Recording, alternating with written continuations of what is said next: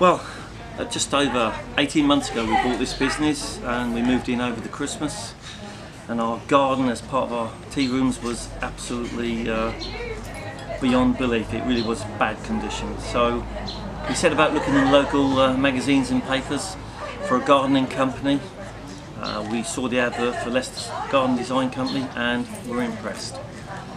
We made a phone call, had a chat, the guys came along, we had a couple of meetings, listened to what we wanted, uh, then they went away and interpreted what we said. The meeting then was, was just of this world really because what we wanted is exactly what we got. Um, interpretation was first class.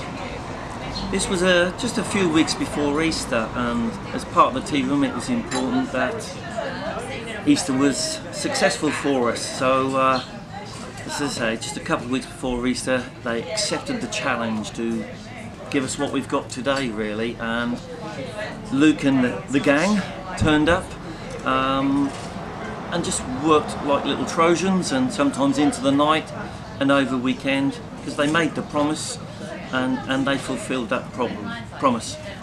We had a few problems, but it, it didn't alter things. They were just brilliant we were more than happy.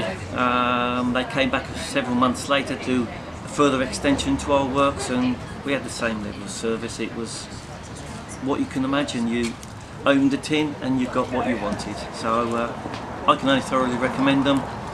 Uh, we've done some work again in the gardens and just delivered everything you could imagine. Interpretation, workmanship, commitment, first class. That's it. Really brilliant.